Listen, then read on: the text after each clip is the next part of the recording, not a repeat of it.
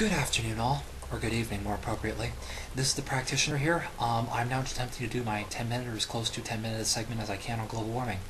So, uh, let me give you a brief example of what the greenhouse effect is. The greenhouse effect is the um, capability of certain chemicals, um, gases, um, water, carbon dioxide, carbon monoxide, methane, etc., all to absorb a certain frequency of light called infrared radiation. What this does is that helps make the Earth um, you know, basically tenable and um, safe for living on. Um, water, which uh, does over 70% of this, um, mitigates also some of this by cloud cover, thus reversing global warming from happening too quickly. Now, because of the fact that there is um, uh, all the because of the fact that everything is in roughly perfect balance, um, on the right hand side here I've listed quite a few number of sources. Um, I, I, before I go any on, I'd like you to check all these for my exact stats and numbers, including the uh, parts per million to milligrams per um, meters cubed converter, and as well also the two textbooks I mentioned there are um, good to be so you can get the uh, uh, exact mathematical equations I use to calculate uh, the bulk of this, and so this way you can plot it out for yourself and see where the science is actually leading. Okay, so that having been said, the um, overall energy. Okay, so um, I've done some calculations based on the um, existing stuff, and basically I'll tell you exactly how global warming works. What happens is that um, because of the fact that carbon dioxide, etc., also have natural amounts that happen in the atmosphere, and there's certain natural fluctuations of the temperature, these are meant to be climate cycles, you know, periods between ice ages and, you know, and, and lesser times, that sort of thing. Like, that's all healthy for the Earth. However, when too much carbon dioxide is put up into the atmosphere, that upsets the balance. It's like supersaturating an already existing solution. You put a little sugar in, you stir it too much, um, there's a, beyond a point at which the rate of solution will no longer work. Um, the same happens here. You put too much carbon dioxide up, um, it absorbs infrared radiation depending on its vibration, um, an equal amount at the same amount, um, you know, at a given rate, and then it releases it back at a given rate. So if you put more up there, it uh, increases the overall energy, which over increases the overall temperature. So let me give you some ideas. The first um, way how that we're, the first way to measure this is the fact that we know um, that there is a um, we know for a fact that there is only some 13 million million tons of water up there, and um, again, one of the sources on the right gives a specific uh, gives the specific absorbance structures. Um, the exact figures based on calculation out from um, converting the uh, the wave number, uh, doing one over the wave number to uh, to wavelength, dividing by from the speed of light to get frequency, then multiplying by Planck's constant, multiplying by the number of uh, multiplying by the number of by the number of um, you know by the by the Avogadro's constant to get a mole, and then multiplying by the number of moles of water. Um, which are in the atmosphere, gave us the total amount of water infrared radiation being absorbed in general right now as being about um, where are we here? Uh, 1.14 times 20, 10 to the 21 uh, times 10 to the power of 21 kilojoules um, on average. That's you know depending on vibrate. That's on average depending, assuming that each one of the three vibrations is at equal time. Again, if my math is wrong for using averages, go and um, check the sources and you can calculate each one for for each individual vibration. If it turns out to be total, it could be much bigger. Um, the same goes on for um, carbon dioxide, uh, again, which has um, absorbance rates at 4.26 micrometers and uh, 15 micrometers, um, again, using the same process and then multiplying um, using the original 280 um, parts per million plus minus 10 um, that was in existence beforehand before 1750, you know, during that fluctuation during the last 450,000 years.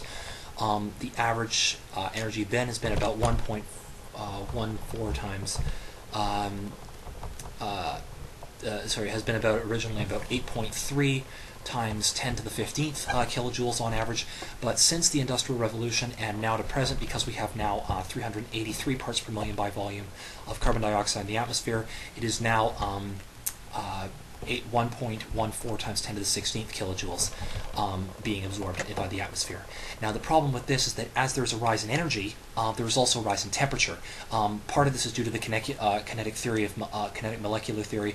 Um, you know, more energy uh, causes further vibration, which causes you know um, the gas the gases to start working a little bit faster, start bouncing each other.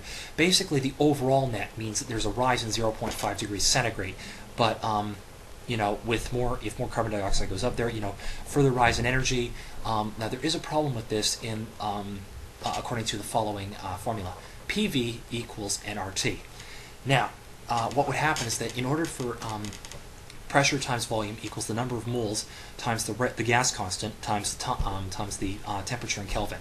Now, as the temperature in Kelvin arises, since we have the same number of moles, um, well, not counting the growing number of moles of, uh, of you know CO2 being put up there, but what with the growing number of moles, we um, in order for the two to work out, um, since the number of moles and the temperature are both rising, the pressure uh, and since the volume is uh, since the volume is essentially constant. I mean, we know it's 0.3, but the thing is that you know it's always constantly bouncing around in the atmosphere. So the entire atmosphere, which is actually a volume of uh, 5.45 times 10 to the 13th meters cubed. Uh, again, sources on the right um, talk about that.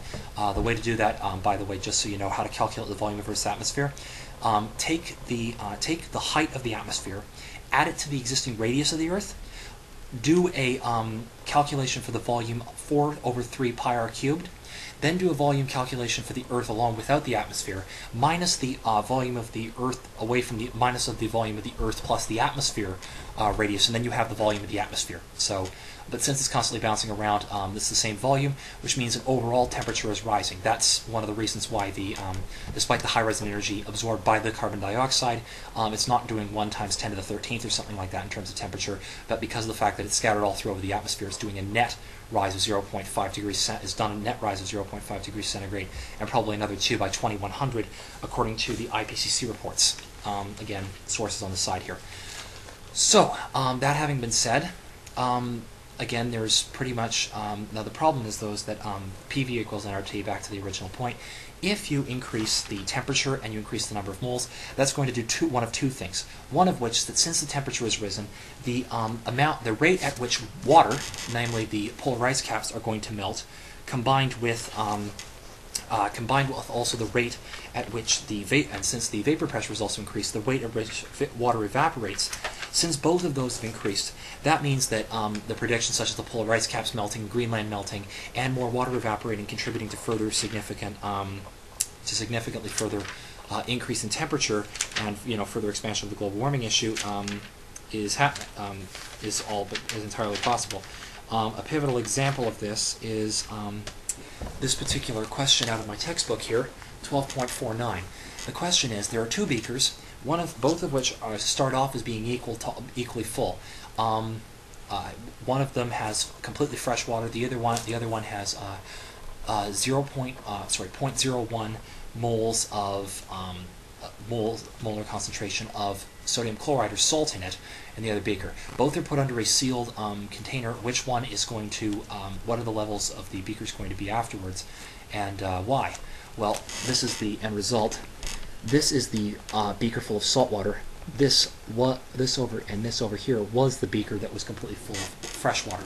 So let me find the original calculate. Um, uh, and while I'm figuring, and basically the reason is because of the fact that um, salt, uh, um, salt water has a much higher um, sorry, the vapor pressure um, basically has a higher boiling point and a lower vapor pressure uh, for saltwater than for freshwater.